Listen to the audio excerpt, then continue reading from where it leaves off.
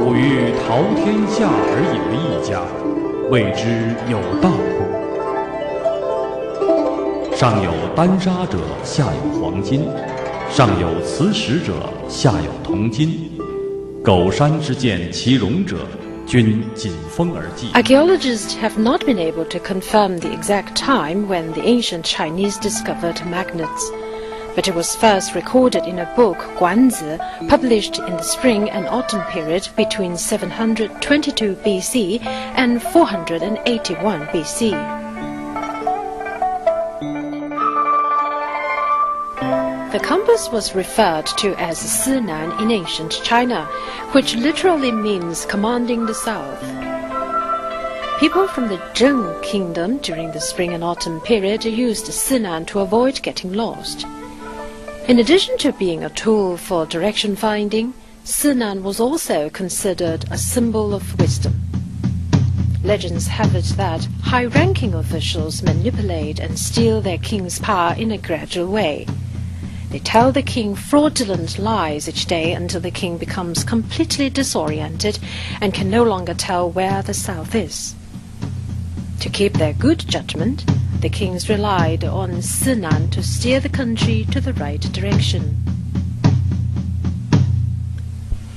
The Sinan built in the Han Dynasty was composed of a little spoon and a dish. The spoon was made of polished natural magnetic ore. The head of the spoon resembled a hemisphere. When one pushed the handle of the spoon, it spun on the dish.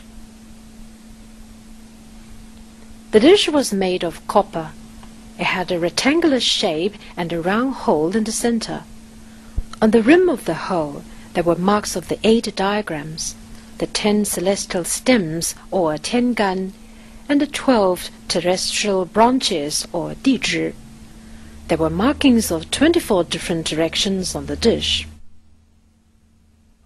After being spun into motion, the little spoon in Sinan rotates, but will always settle down pointing the south.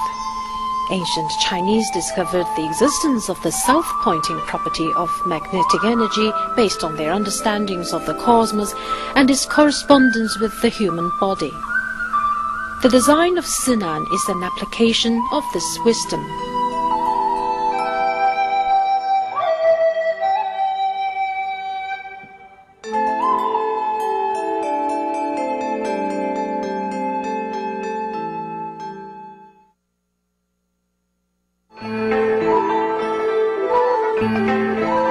The ten celestial stems, or tiangan, and the twelve terrestrial branches, or dizhi, together are also called ganzhi.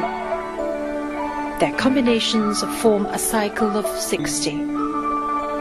The Chinese people have used these combinations to designate years for nearly 3,000 years. Tiangan and Dizhi are also used to designate days and hours in the Chinese lunar calendar.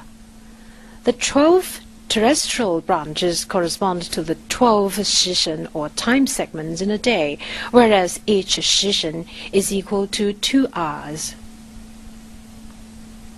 The Southern Song dynasty between 1127 and 1279 AD used the sundial to tell the hours in a day. During the summer, the shadow of the sundial is shorter. During the winter time, the shadow of the sundial is longer. Zhang Heng invented an earthquake indicator in 132 AD during the Eastern Han Dynasty. Even to this day, the mechanical principle behind it is still a mystery. Zhang Heng's earthquake indicator looks like a wine cup with a diameter of about 8 feet, made of refined copper and full of decorations.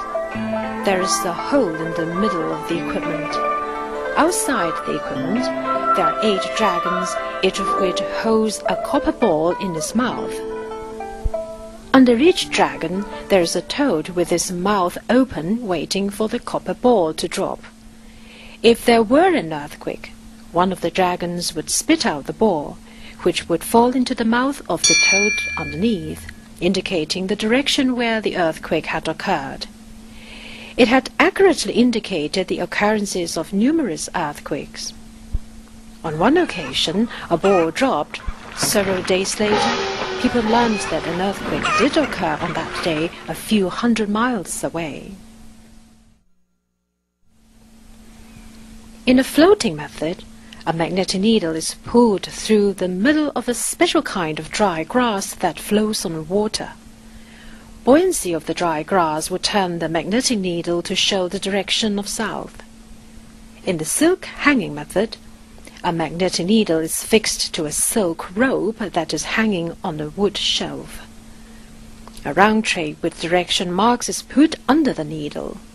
When the needle stops spinning, it shows the direction of south. In a nail method, a magnetic needle is placed on a smooth surface made to look like a human's thumbnail, and the needle would turn to point to the south. Finally, with a bow brim method, the magnetic needle is put at the brim of a bowl. Among the four methods, the silk hanging method was the most precise. But when applying it, there were many limitations, such as that there should be no wind.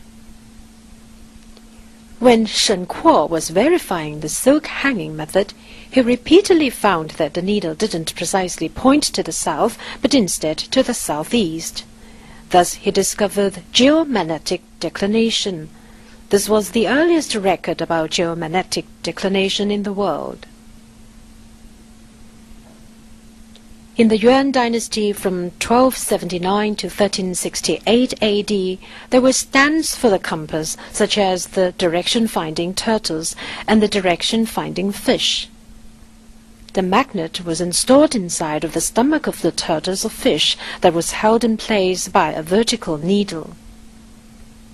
The dry box compass appeared in the Ming dynasty between 1368 to 1644 AD. It used a nail to hold the magnetic needle at the center of the box. The friction force of the pivot was so small that the needle could turn freely.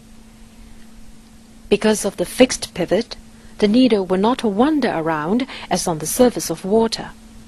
So the dry box compass was more appropriate for sailing than the water box compass.